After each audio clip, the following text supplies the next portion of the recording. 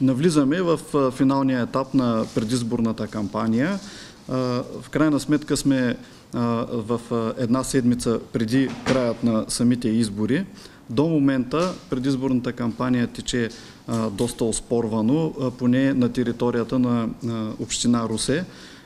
Като информация, която можем да подадем, 19 жалби са подадени до момента в Общинската избирателна комисия във връзка с нарушение на правилата за предизборната агитация.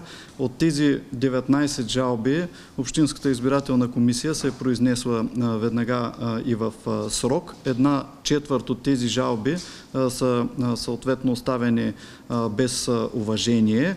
Останалите жалби се констатират нарушения и съответно са с произнасяне в насока на премахване на агитационни материали. Казвам това, защото повечето жалби са именно в тази насока.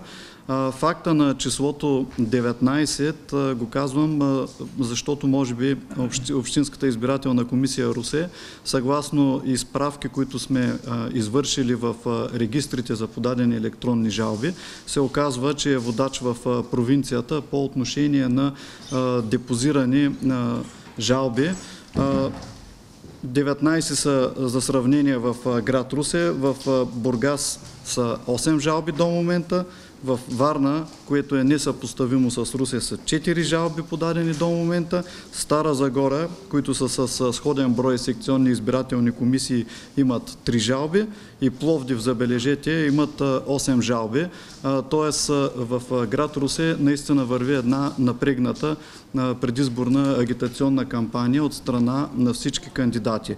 От всички жалби, само по една имаме депозирана жалба пред Централната избирателна комисия. Налично е произнасяне на Централната избирателна комисия в тая връзка, с което е потвърдено решението на Общинската избирателна комисия. Тя е по жалбата на политическа партия Възраждане, свързана с това, че са използвани, че е използвана залата на Канев център за предизборна агитация. Лоша е тенденцията, която се наблюдава по повод последната жалба, за което използваме този момент да апелирам към всички участници в предизборната кампания. Тя е в връзка с това, че се появяват фалшиви новини в определени онлайн медии. По повод тази жалба предстои произнасяне на Общинската избирателна комисия. Вчера сме сезирани с това като сигнал.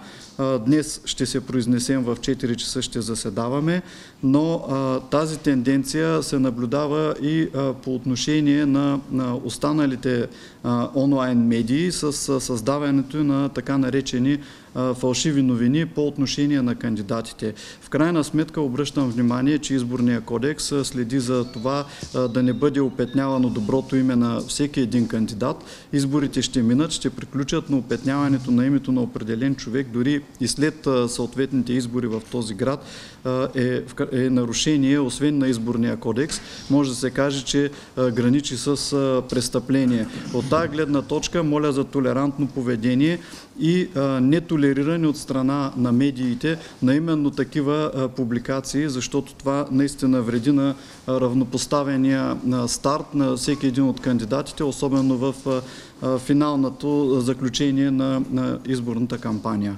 Какво беше решението свързано с използването на залата на Решението беше, че тази зала така или иначе е обособена част и тя се използва и за други цели, и за театрални, и за много други така инициативи, тъй че от тая гледна точка, съчетано и с факта, че няма и доказателства за проведена предизборна кампания, жалбата е отхвърлена, което решение е потвърдено от Централната избирателна комисия.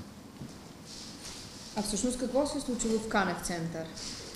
Извършена е среща от един от кандидатите с представители на Академичен съвет и други интелектуалци, която обаче така или иначе ние не сме констатирали някаква наличие на предизборна агитация, още повече използването на самия Канев център именно за тази цел. Не, не смятаме, че има по- поставеност, неравнопоставеност на всички кандидати и някой от тях да е спечелил сравнително предимство при състезанието. Затова сме се произнесли по този начин. По отношение на фалшивата новина, ли Казахте фалшиви новини.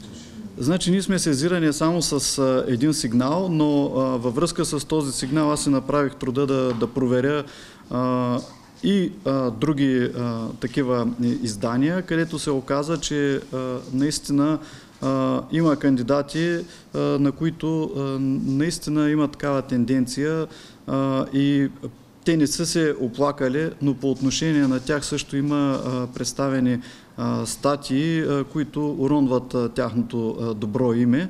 В тая връзка напомням на всички представители до 26 септември трябваше да изтече срока, в който да си представят договорите пред Общинска избирателна комисия, говоря за регионалните медии, за да можем наистина и ние да окажем контрол и съответно по именно разпоредбите за предизборната агитация във връзка с медиите. Има сайтове, не медии, сайтове, които бъкат с политическа реклама и в същото време съм убеден, че нямат и договор. Какво правим? Значи те не са си, част от сайтовете определено не са си представили договорите, така както го изисква закона. Това го установявам при извършената проверка, но това ще подлежи на допълнителни проверки от Сметната палата, така или иначе. Сигнал ще има от ваша страна за сметка. Ние не можем да подаваме сигнал, нали, така или иначе, то това ще се установи при проверките. Казвате 19 а, са жалбите. Какъв, какъв е характер? Основно плакатни ли са? Основно са плакатни агитационни материали, поставени в нарушение на изборния кодекс, липсата на задължителното съдържание, че купуването и продаването на гласове е престъпление. Това са основните нарушения и ние сме ги предвижили с насока да окажем премахването на съответните агитационни материали, които са с констатирано нарушение. Трябва да бъде нали, извършено тяхното премахване от съответния кмет на общината или кмета на кметство. Появи се една, така да се каже, книжка на един от предизборните дебати, се разпространяваше една книжка за това. Имате ли сигнал? Също нямаме сигнал. Аз гледах този предизборен дебат. Ако това наистина е така, също смятам, че до някъде, ако позори името на определен кандидат или нарушава неговото така добро име, също не е редно да се случва. То е също в този дух, в който отправям призива нали, да се спазват правилата, така че те трябва да са еднакви за абсолютно всички, независимо от партийната принадлежност.